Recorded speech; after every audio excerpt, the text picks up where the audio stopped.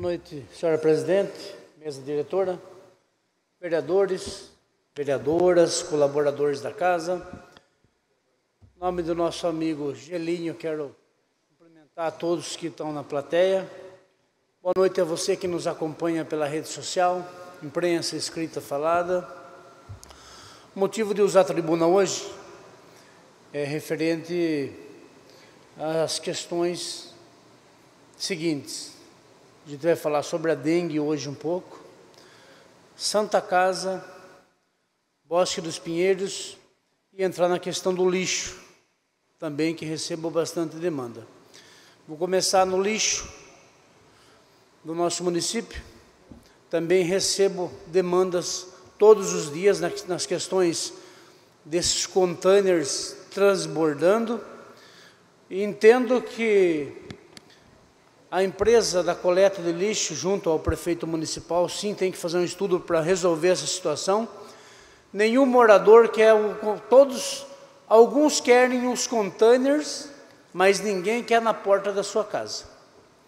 E a obrigação do município é sempre dar condições para que o município destine o seu lixo de maneira correta.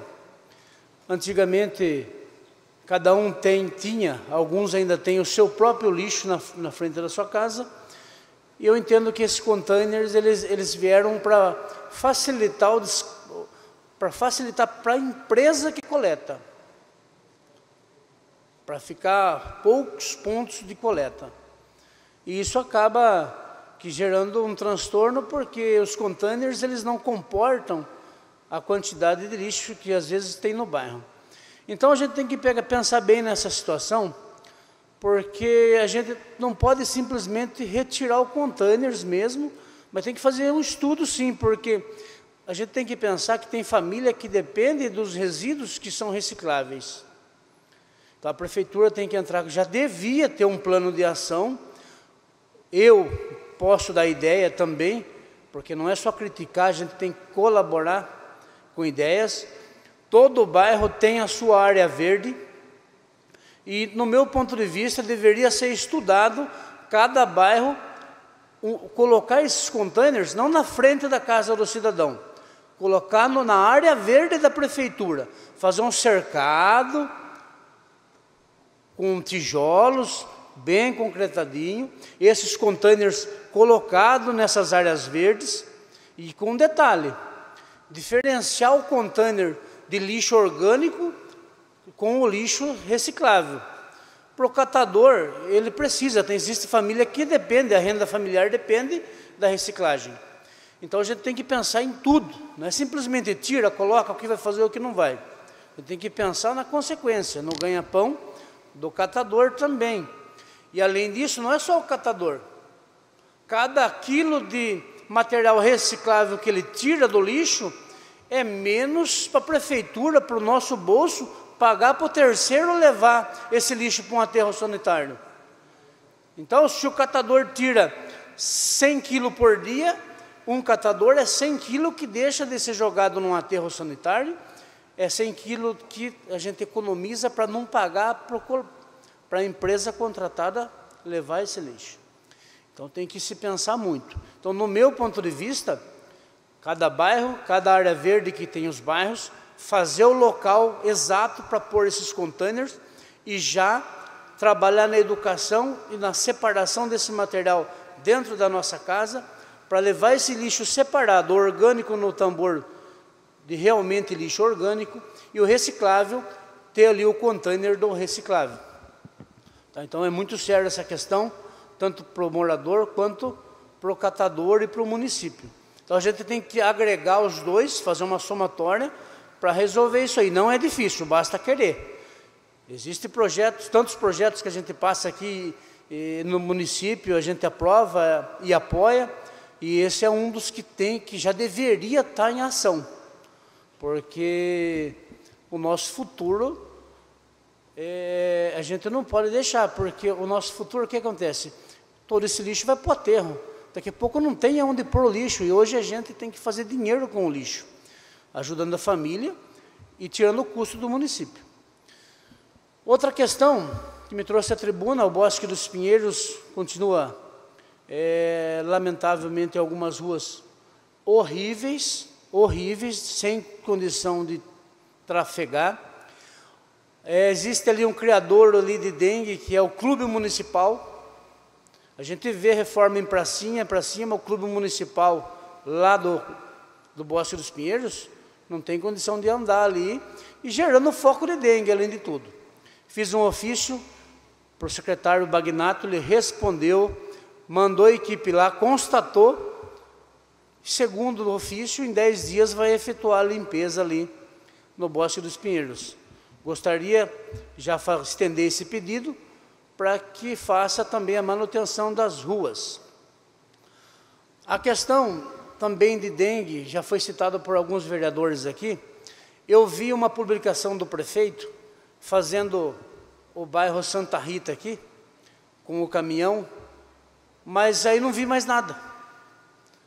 Passando o caminhão, é, jogando água com algum produto que eu não lembro, não recordo qual é, para matar o, o mosquito.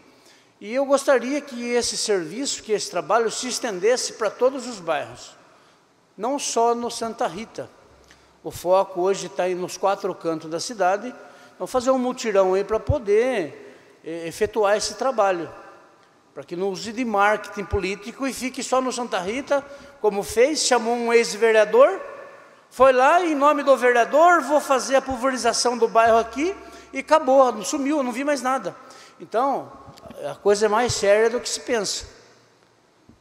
Vamos trabalhar sério e vamos fazer em todos os bairros. Espero e peço que faça em todos os bairros o que começou no Santa Rita aqui, que fez bem feito e que faça nos demais bairros. Não posso deixar de falar também aqui nesses três minutos que me restam, é, do bairro Santa Rita do Trevo e Paineirinhas. Recebi uma foto, não fui no bairro hoje, semana passada eu recebi uma foto, se limpou hoje, parabéns, mas a área de lazer, ali próximo no centro do bairro Santa Rita do Trevo, não tem condição de criança brincar. Muito mato, a própria quadra é, que, que tinha, não a coberta, a que está aberta, já fui visitar, os alambrados estavam caindo e nada foi feito, então a gente espera que o poder público trabalhe mais naquele bairro na questão de infraestrutura, área de lazer. Já falei do meu bairro São Pedro ali, na questão de lixo, sujeira, não está resolvendo nada, na questão de acostamento não está resolvendo nada.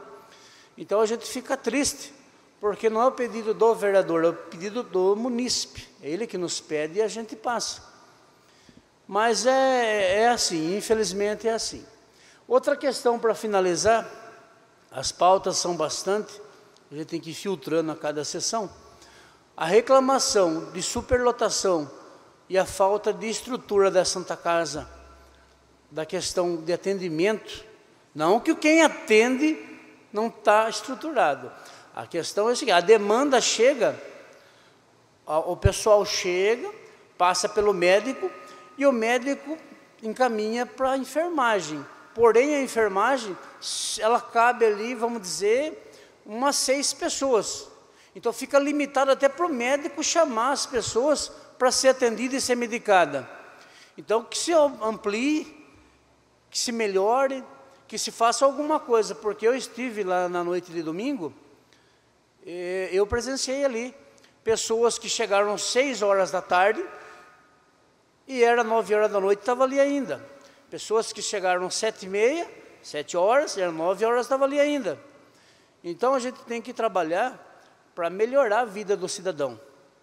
A pessoa vai na Santa Casa porque precisa e não porque gosta. E eu não vejo motivo nenhum aqui, empecilho nenhum, de remanejar, como a gente tem feito, recurso para a Santa Casa para dar o apoio para o povo que precisa. Não tem funcionário? Contrate. Não tem área suficiente ali? Eu sei que tem, tá? Mas vamos dizer que não tem? Que se construa, porque o recurso está chegando. E eu espero que esteja sendo aplicado, bem aplicado.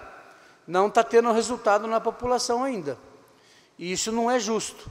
Que o povo sai da casa, quer ser atendido e chega ali, fica enroscado, não atende, não descansa, então fica difícil. É o que eu tinha para essa noite, senhor presidente.